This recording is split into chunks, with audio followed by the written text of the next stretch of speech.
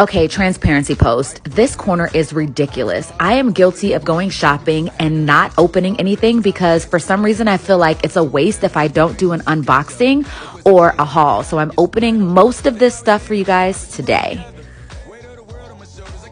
Okay, I got this Chanel bag so long ago and just wore it the other day. It's so cute.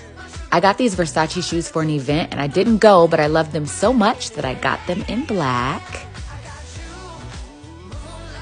Now, these shoes, I don't know why I got them. I'll probably never wear them. I feel like I was peer pressured. Oh my God, I fell in love with these Prada boots. I absolutely have to wear them before Labor Day, right? Because that's like against the rules. and then I got these cute little sandals, definitely wearing these.